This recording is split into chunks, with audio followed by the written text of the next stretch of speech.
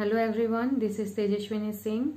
Um, I am doing my PhD in Ecology and Environmental Science from Pondicherry Central University and I have cleared NET JRF this time and I am uh, really really thankful to ASS Science Foundation and all the esteemed faculties of uh, uh, ASS Science Foundation including Gaurav sir who have made this possible for me. Actually I joined my PhD in 2019 and I also cleared NET LS in the same uh, June 2019 but university fellowship was really low uh, for the smooth running of the PhD. I needed JRF anyhow and whenever I used to feel low about the thing uh, Gaurav sir and all the faculties have always encouraged me to work harder and uh, uh and to get uh, JRF done and um, the best thing you will uh, get in ASS is the materials. The material is so crisp and written to the point that you won't need anything else to study for getting JRF.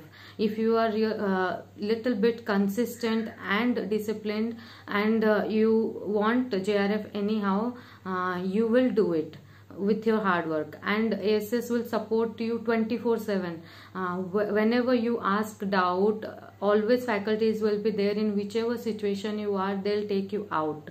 And um, the best thing I have got from this uh, institution is that even after clearing my net LS they didn't let me go. They supported me constantly till I got my JRF and I'm really really thankful for this thing and uh, last but not the least i thank the almighty god and my parents as well uh, who have made this possible for me and i am really thankful to ASS Science Foundation. Whoever is there want to get JRF in environmental science, please enroll, your, enroll yourself here. You can get all the support you can, uh, and uh, they will never let you go until you get your JRF.